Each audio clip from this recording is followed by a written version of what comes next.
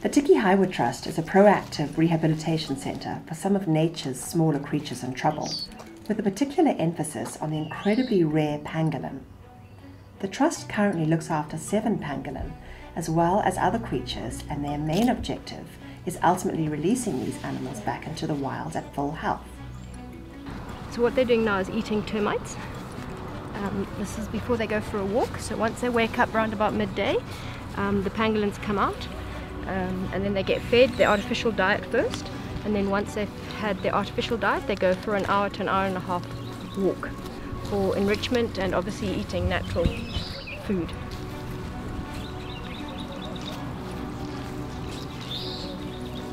The aim with all the pangolin is to obviously get them back into good condition and good health and then release them back into the wild. Obviously all pangolin will be transmitted um, and so that we can learn more about their habits, natural habits and make sure that they're safe. Obviously the safety is a big factor with the amount of increased trade throughout the world. In the same boat as the rhino, pangolins are sadly highly sought after by the misinformed Chinese for aphrodisiac properties in their scales even though they consist of keratin only. This makes them critically endangered. With this in mind, these pangolin will ultimately be released into massive wildlife reserves, far from human interference.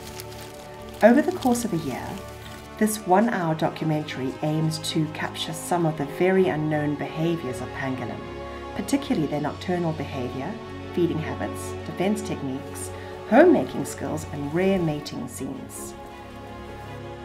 This will be made possible through microchipping the released pangolin. We are confident this one hour special will engage a large captive audience as the subject is so unknown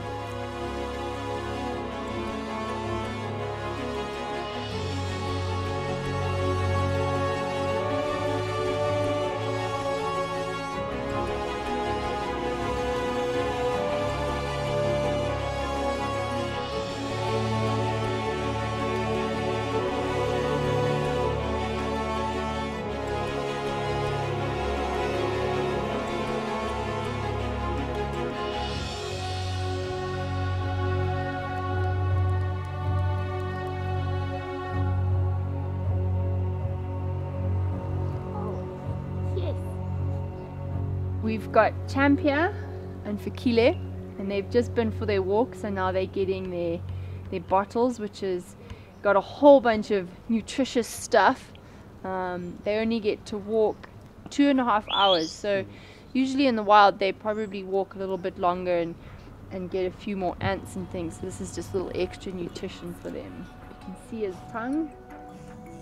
They love this stuff captured by the award winning Goddunnit Promotions crew.